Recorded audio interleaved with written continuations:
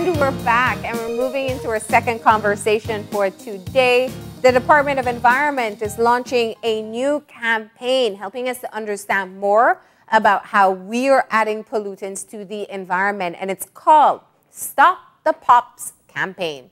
We have with us two senior environmental officers to tell us more about the campaign and uh, what, it, what type of pollutants they're talking about. So we have Anthony Mai and we have Leonidas Sosa. Good morning. Hi, good morning. Thanks good morning, for having us. Thank you for having us on your show. Well, thank you for being here as well. It's a, it's a rather interesting topic, and I was telling you it is highly scientific, uh, the pollutants that we're talking about. But let's, let's just start about why this came into focus now. You had said that this is, in fact, a regional campaign that is being undertaken. Sure. Um, Marlene, first, of, first and foremost, let me just again uh, thank you for the invitation on Open Your Eyes. And I would like to thank our Belizean listeners for tuning in because the discussion about persistent organic pollutant is a very important discussion. And in fact, we believe that not much has been said about it in terms of um, building public awareness about POPs to the general public. POPs are are considered some very harmful chemicals and they are all around us and it is important now that we begin to share this information. So we started this campaign called stop the POPs um, so that we could uh, begin to build awareness and get some behavioral change from from the general public. Um, in, in in line with that we identified um, that people need to first identify uh, the sources and uses of POPs People need to learn um, how they could uh, reduce the exposure of puff to their family and uh, and their close they, they, and themselves, and also to act by minimizing their exposures uh, exposure to pups. So the campaign is basically is just because we feel that there is not enough information out in the public about pups. Yeah. So the, the Department of Environment, along with a regional um, a regional organization called the BCRC, has put this campaign together to, again, disseminate information so that people could learn about POPs. And if you'll see by what you're sharing, the information that is being shared, the campaign that has been prepared, has been prepared such that the terminologies that are used, the messages that are sent out, are easily understandable. Yeah. Um, if you visit the website stopthepops.com, there is a full flow of information on this website, and the website is geared towards um, um, children going to school. So, uh, the terminologies terminologies that are used are terminologies that are easily understandable. Yeah. So we believe that right now is the correct time for us to start this uh, this campaign. You know, I think all Belizeans at our core, just uh, based on the, the nature that we are blessed to um, enjoy, we, we all care about our environment and we talk about pollutants and oftentimes it's more that the, the things that we have traditionally heard about. You know, we worry about garbage, we worry about air pollution, we worry about um, water quality and, and things of that like. Now, when you talk about POPs, this is very different. And in fact, I think one of the first steps in the campaign is being able to identify what you call these persistent occurring pollutants? Organic. Did I get it? Organic. Organic. Thank you. Organic yeah. pollutants. Yeah, yeah.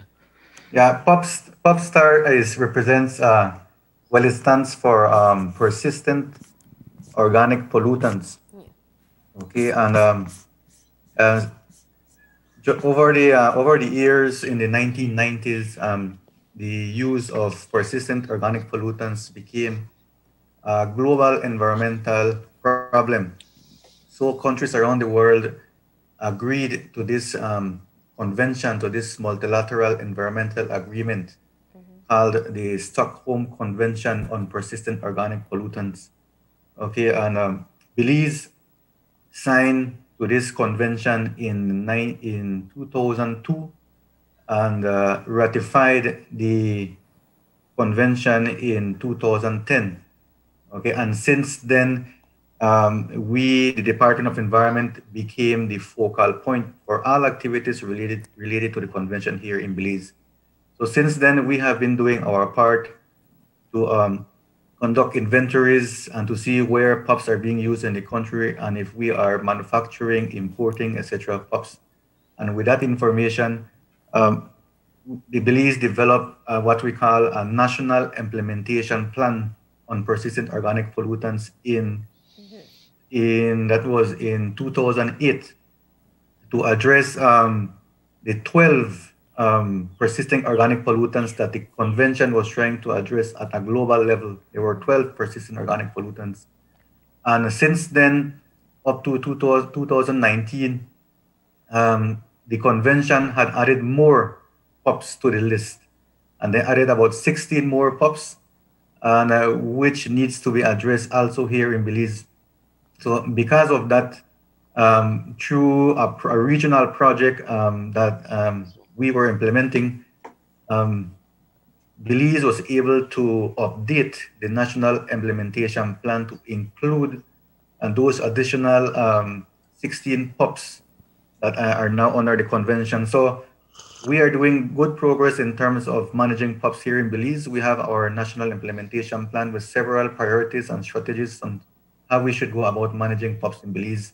Yeah. Unfortunately for Belize, being a small developing country, we do not um, produce or manufacture any kind of pops here in Belize, and most of the pops that are listed under the convention uh, are not are not are no longer being used in Belize, except for a, a few of them.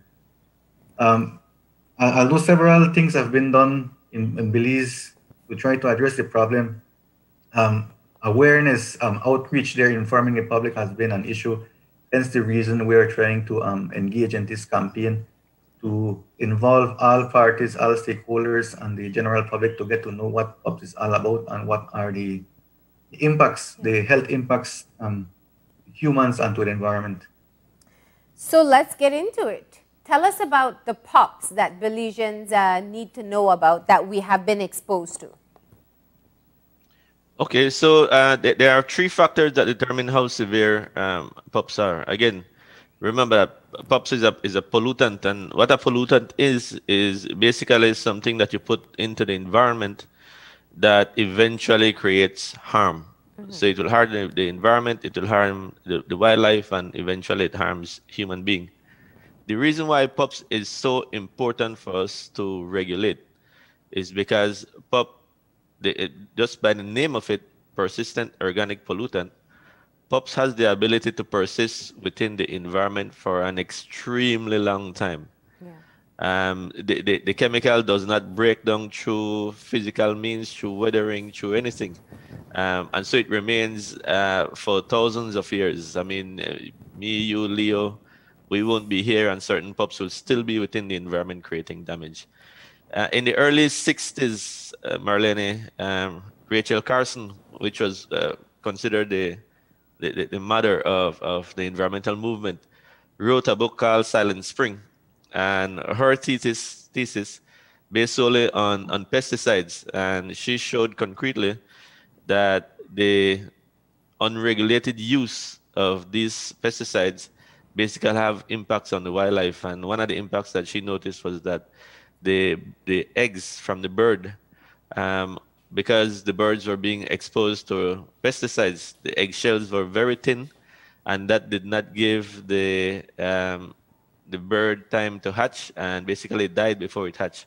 And so that is just one example of how POPs impact uh, wildlife. But there, there are many different type of impacts. But what, what she did, she wrote a book, and the name of the book is Silent Spring. And any environmentalist today should have that as one of their first read before you go into into anything. Yeah. It's a very good uh, that that book actually started the environmental movement. It actually contributed towards the establishment of the US EPA. But I mean, enough about that. So no, but actually, I I wanted to go to that. So maybe we should do that now.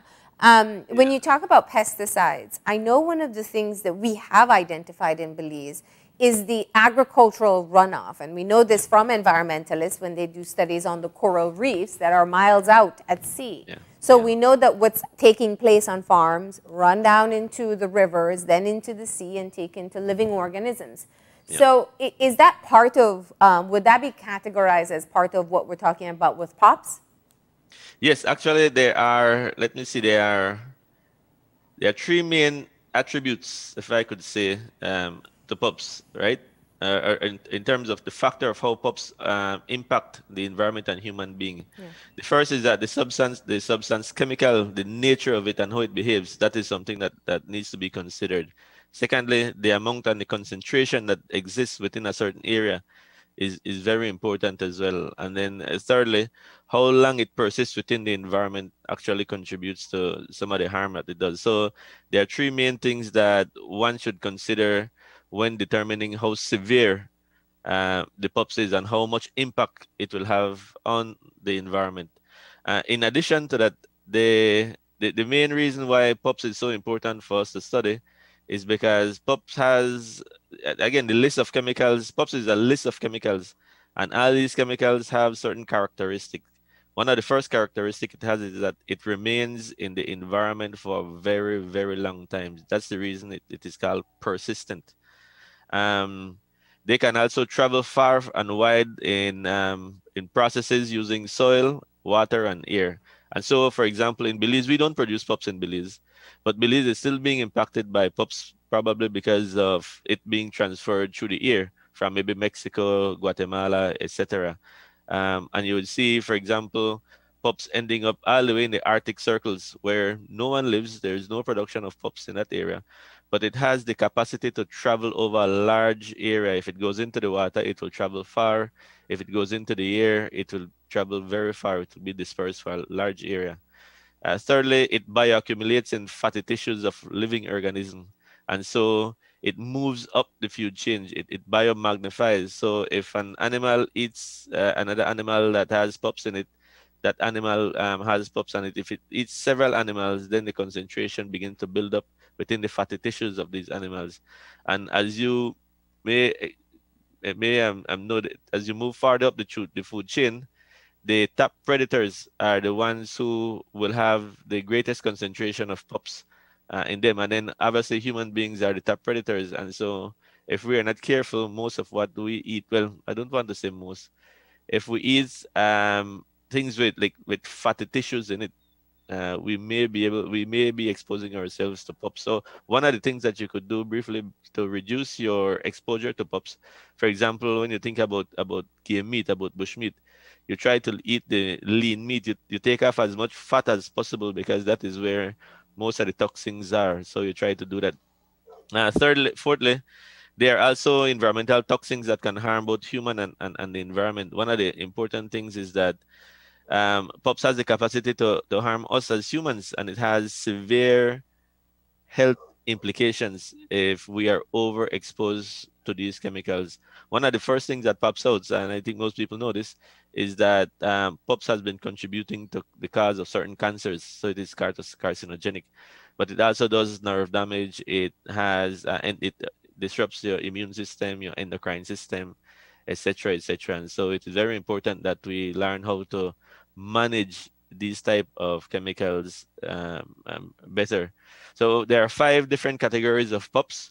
There are pesticides. Again, pesticides is the type of PUPs that most people are aware of. They are aware that pesticides are PUPs.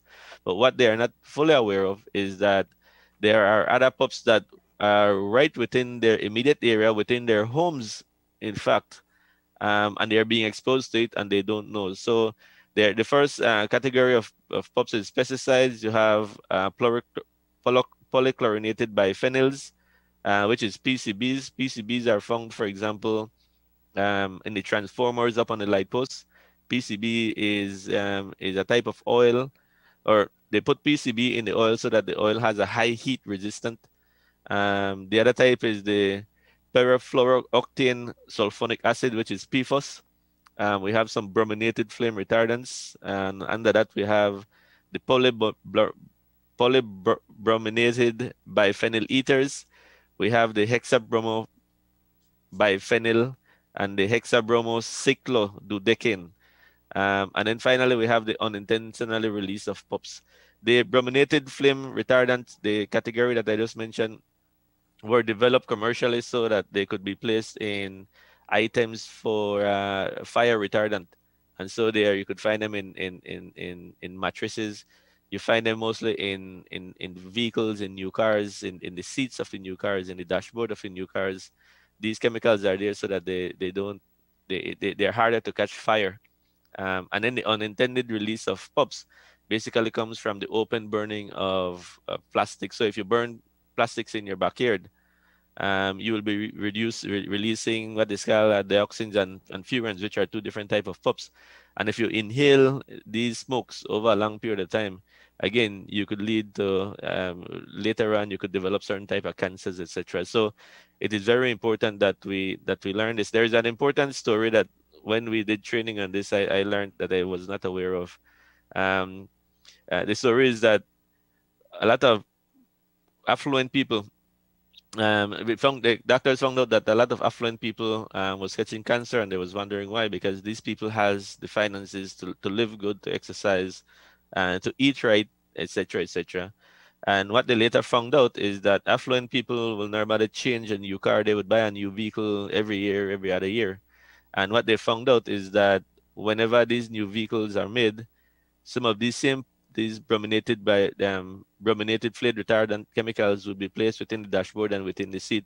And you know, you will drive with your seat, with your glass raised, your AC on, and when you drive in the sun and the sun heats up this material, basically you're you're enclosed, you're in a, in a capsule, and these chemicals are being exposed, and you're bringing breathing it in on a daily basis. And so they found out that this is one of the contribution to why some of the affluent people who may have the resources to eat right exercise and avoid some of these these stocks these pups still end up with certain type of cancers. So that was a very interesting um, um, story to me. In fact uh, one of the advice in terms of limiting your exposure to pups is that there is uh, certain toys made out of plastics. Um, a good example is the little toys that you put in your bathtub with your baby when you're floating when you're bathing them you know the little the little the little um, um, um the little duck that you move around and some other little floatable toys. Some of those toys actually contain um, pups. When you cook at home, when you use your, your non-stick utensil, your non-stick pans, some of these products are lined with pups, and if we, if we are not careful, uh, we may be exposing ourselves much more than we need. That's the reason why I said, Marlene, from the beginning, that most people think that pups is only um, in the realm of pesticides, trust me, it is all around us. It is everywhere around us. In fact, most of the mattresses that comes from the United States are made of pups, and we are sleeping on it um, on a daily basis, and we are not aware of it. I think one of the interesting things that you you just pointed out, well, pointed out several interesting things. Sorry, I, I got my mic situation fixed. Um, you, you pointed out quite a few things. One, I mean, how interesting is it that the new car smell that everybody covets may actually be contributing um, to illnesses? But yeah. some of these are uncontrollable. If I if I purchase, let's say, a fireproof or fire um, resistant mattress.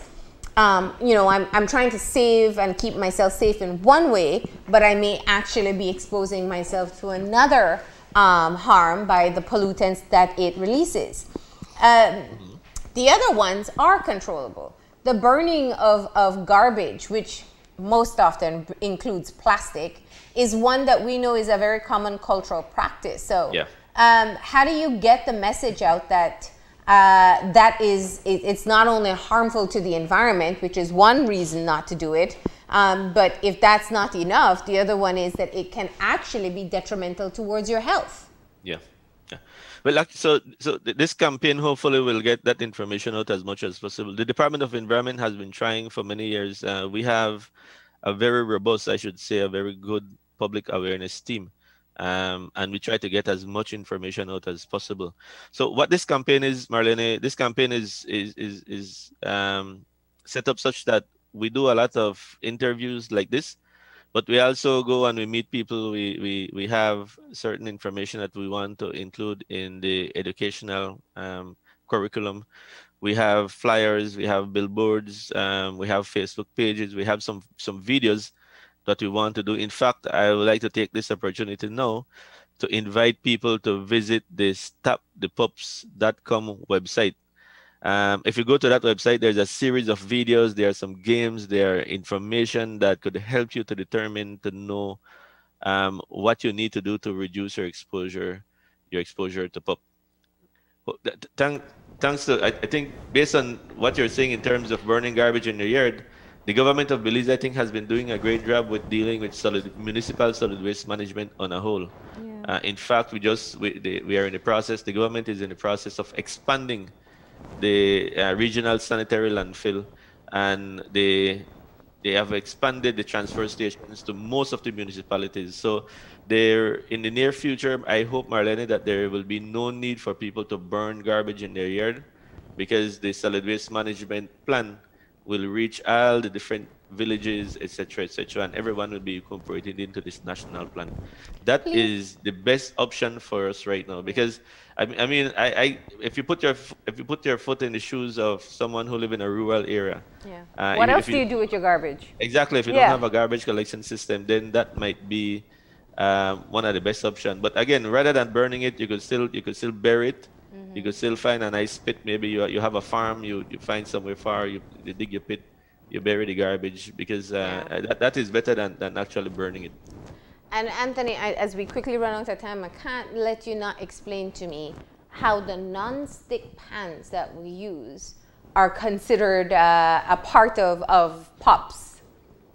Yeah, okay. Or so, Leo yeah. can take it too. I know Leo is still with okay, us. Okay, sorry. Yeah. yeah, um, the, well, POPs can be found in, in many items, okay, including um, those items that we use in the kitchen. Um, it can be found in food, in, in, many, in many things in the air. But uh, it, it depends on where you buy those kind of, of, of items. For example, the, the non-stick the non-stick pans. For example, um, countries around the world that are parties to the Stockholm Convention that I mentioned in the beginning. Yeah. Um, they had uh, committed um, to stop producing um, items that contain POPs. Okay, so um, not all countries in the world are parties to the Stockholm Convention, and and our friends in the north here, um, the United States of America, one of the biggest producers of items that we import here in Belize, they are not a party to the Stockholm Convention, so they are not obliged to do certain things and they can produce whatever they want. Okay, hence the reason Anthony mentioned the issue about mattresses. Interesting. Okay, so so if, if frying pans, non non-stick frying pans are made in the in the United States, so there's a high probability that it may con the may contain POPs. You know, um, we're not saying they do, but it may contain POPs. And but if you buy, let's say, a, a frying pan from Mexico, who is a party to the convention, they are obliged not to produce any kind of items that contain POPs. So um, probably that might be some something safer to use. Interesting. Okay. So we talk of pesticides, um, and let me just get some clarification here because I know we have a list of approved um, pesticides that can be used and banned, um, and yeah. pesticides that you can't use. Uh, does that help to protect us from the POPs and pesticides? Yes, it does. Yes, it does. In fact, um, uh, we, we have an entire organization yeah. uh, that deals with pesticides. It's the Pesticides Control Board, yes. of which um, the Department of Environment sits on, on, on the board itself. I think Leo, if I'm not mistaken, sits on the registration board, and then the Chief Environmental Officer sits on the executive board. Uh, because again, when anyone wants to import a certain type of pesticides, it needs to be vetted and approved by the Pesticide Control Board. And in fact, when information arises to suggest that certain pesticides that we use in Belize is detrimental and extremely harmful, then there is a there's a process for it to be phased out. Mm-hmm. Um, for example, in the beginning there were there were 12 POPs. They used to call them the dirty dozen, right? So these were aldrin, um, chlordane, DDT, um, Dieldrin, Endrin, heptachlor. Some of these um, uh, POPs were being used in Belize, but they have been banned for over a period of time because of the harmful effect. In fact, I think one of the most common um, pesticides is, uh, is DDT. We used to use DDT. The, the, the, the, Ministry of Health used to go around spraying DDT to kill mosquito um, yeah. within within within the tongue limits, etc., etc. But they found out that that was uh, persistent, and, and so we, we stopped use that. And there's there's there's definitely alternative uh, options for all the different pesticides that we use there are chemical alternatives and non-chemical alternatives yeah. um, that we could use. But um, yeah, there's, there's a slew of them that we have gotten rid of. But Mm-hmm. again, there are 16 new pups that are still um, in the market and that we need to be careful of. And I think you said earlier to it because you know we're we're a part of a global community. It's not just what we produce; it's what's introduced uh, from other parts of the world as well. So help us understand if you were to outline maybe the top four or five um, ways in which we may be exposed to pops or introducing pops into the environment. What would that be? I mean, I, I can't help but be fascinated by you have the new car smell, the plastics, the fire retardant plastics. You Yeah. have uh, Teflon pans made in countries that have not agreed to eliminate the use of pops.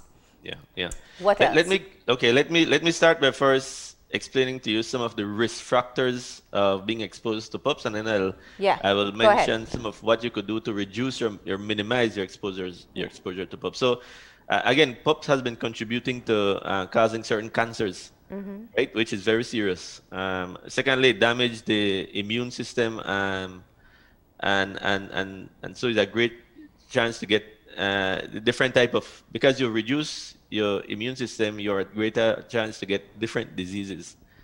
Um, it also damages your nervous system. It damages your reproductive system and birth defects. It will cause birth defects. It damages your endocrine system, your male and female uh, organ, and eventually it could lead to death for extreme exposure. So, what could you do to to minimize exposure to pups? The first thing you could do, Marlene, is wash your hands regularly. Right? You wash your hands with soaps regularly whenever you come into your house, whenever you leave your house. If you have touched anything um, that you believe may contain pups, you, you just wash your hand as often as possible. Secondly, you remove your shoes whenever you come into your house. You don't want to introduce any of these type of products. In fact, not, this is not only for pups. This is general, right? Any type of virus, any type of disease, any type of thing that may contain anything that could harm you.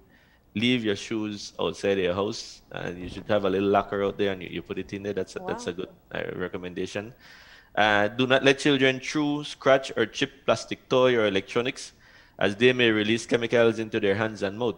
Right. So I mentioned that some of the, for example, the HDP, whenever uh, children, you know, like to bite these plastic uh, toys, etc., that that is releasing some of these um, products may contain pups, and you- you're directly ingesting these harmful products. Um, the other recommendation is to wash your vegetable and fruits properly before you eat them, and preferably using running water. So you go to the market when you come home on Saturday and you want to do your knife, you know, your, your beef soup, you want to do your salad. Wash, you put on your faucet, rinse the vegetables so that the water keep running, and that will remove some of the, the, the residues that may still be on the on, on the veg, on the vegetable and that, that, that has not been removed properly, that will assist you as much able, as much as possible to get re- reduce of um, some of them.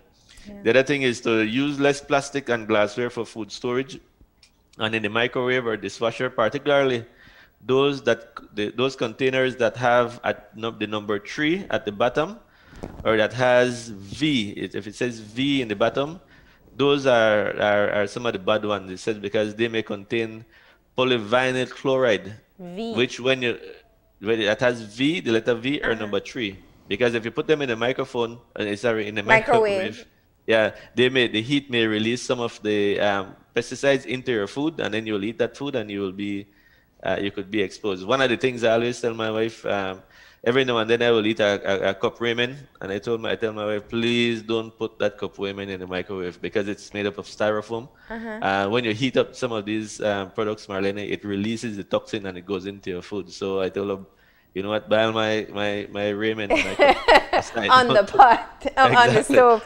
You see, and, and not in a Teflon pan made in, in particular countries. ex- exactly, exactly. Anthony, it sounds like we can have you back to have a whole conversation just on that. I agree, I agree, I agree. But just, just a few more things that Yeah. you could do. It says avoid as much as possible using cling wraps and, and canned food. So cling wraps is that like that stretchy plastic that you Yeah. normally use over a salad. So Yeah. avoid using that. That has that has Teflon and it, it could contain pups as well. Um, it says avoid the use of non-stick pan and utensils. Um, look for cookware that are free of PFOA, which is another type of, again, most of these things, Marlene, when you go and you buy them, read the label. Okay. If you just read the label, that will help you a lot to identify what you're getting. It says avoid water um, and still repellent fabric. So if you if you have a nice jacket that is water resistant and you feel good about it, you're going around to your friends. You don't know some of those uh, water resistance and fluid repellent uh, clothes actually may contain may contain POPs. Um, it says uh, one of the one of the I think things that everyone could could could understand clearly is whenever you go to the store and you buy uh, bug repellent, you buy your fish or your Baygon, yes. etc.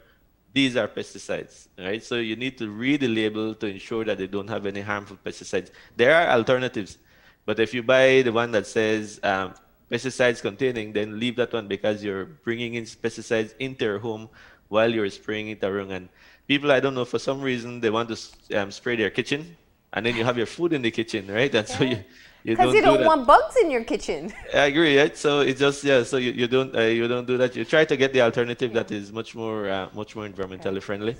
So, um, again, when you buy your food, you try to remove as much fat as possible because the pesticides tends to bioaccumulate and it, it, it loves pesticide will not dissolve in water, but it will dissolve very good in fat, and so it wow. will stay within the fatty tissue of all animals. So if you buy pork, if you buy any, if you get a piece of the uh, meat or anything, trim off piece of the fat and leave the, the, the, fat aside. All right. Um, well, we, we are we are running out of time now, but you were yeah. telling us so much. Um, I think that is that is very useful. As you said, though, there is a website that people can go to if they want to know more. What's that website? Well, there's two websites that I want to mention. The first okay. one is stopthepops.com. Stop um, the POPs yeah so that one is is more it's more user friendly mm-hmm. it's, it's, designed to capture your attention so that you could learn more about it yeah. but the other uh, website that i want to mention is www.pops.int uh, that is the stockholm convention's uh, website and the stockholm convention is more for um, maybe a scientific community if, if you really want to know um, scientific information about these products. If you're in, in tertiary level institution, for example, if you're doing a research on POPs, if you want to know what is uh, Belize's commitment to the Stockholm Convention, then that website is, is for you. Um, for for I think the everyday people, for people in school, um, the Stop the POPs uh, website is a good place to start to learn um, about POPs, and, and it's, it's, it was designed to capture um, everything in terms of the videos, you know, the things you hear, the things you see, yeah. uh, the way they presented it, it's, it's very good. Okay. Well, yeah, we, go ahead. Yeah, we want to encourage um, teachers from the primary and secondary schools to visit the, the website that was, was just mentioned is stopthepops.com. And there's a lot of material in there that they can use to develop lesson plans and uh, posters, brochures that they can use. Um, in school. So we encourage all teachers um, to look at that uh, website and also they can also contact the Department of Environment, the um, Public Awareness and Outreach Unit, and we can we, we will be able to assist them with um, several awareness material that they can use. In there's some some cool videos too. That's we, we saw yes. those. Yeah. Well, thank you so much. I mean, we, we've learned quite a lot in such a short term in such a short time, and I know that's the essence of your campaign to uh, identify, learn, and then you can take action um, to stop the pops.